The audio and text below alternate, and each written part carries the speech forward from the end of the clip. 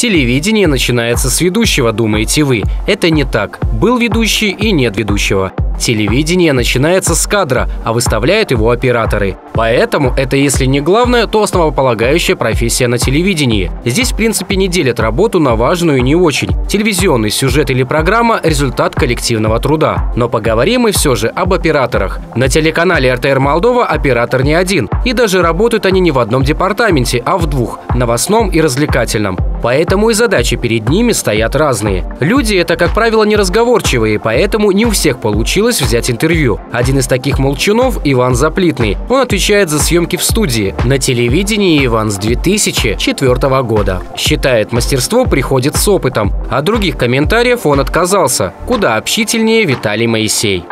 Нет, это не была моя мечта в детстве. Это случилось просто случайно мой знакомый работал на национальном телевидении. Я пришел к нему в гости на, на работу посмотреть, как он, как на телевидении работает. И там не хватало одного оператора, и меня поставили за камерой. В первый же день только объяснили команды, которые дает режиссер. И когда меня дали в эфир, я весь дрожал, только руки держал. И весь так дрожал, только камеру держать, чтобы не...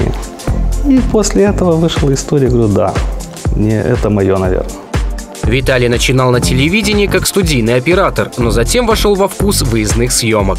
Сложности разные. Там, когда на улице дождь, ветер, снег, э, ты даже не хочешь выйти из дома, не то что взять камеру и пойти по такой погоде еще снимать. И еще рассчитывать, чтобы так дождь не попал в объектив, чтобы э, картинка была нормальная, чтобы было видно, чтобы все отснял, что нужно отснять. Сергея Краетору тоже привели на телевидение на экскурсию, да так и остался. Однозначно творческая профессия. Каждый раз экспериментируешь, пытаешься что-нибудь новенькое внести, показать. Каждый вид по-своему. И пытаешься это показать, передать свой взгляд на мир другим. Есть у нас еще балагур по жизни, но скромняга перед камерой оператор Руслан Каунов. Как занесла судьба топографа-географа в операторы, история умалчивает, как ее герой. Что точно связывает эти две специальности – постоянные путешествия, пусть даже по родному городу, но все же. Особенность работы операторов в том, что они постоянно ищут глазами новый кадр.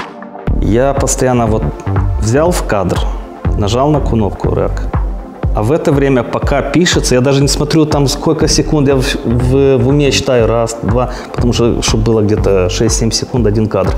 А в это время смотрю вокруг, какой следующий кадр, чтобы взять, чтобы не терять время. А еще операторы между собой дружат. Это каста со своими байками, многие из которых о знаменитостях. Операторы остры на язык, потому, чтобы лучше выглядеть в кадре и не стать героем их устного творчества, лучше с ними дружить. А то вдруг кто-нибудь из них решит написать книгу воспоминаний. Тогда звезды узнают о себе много интересного, а зрители откроют для себя закулисье телемира. Но пока операторы молчат.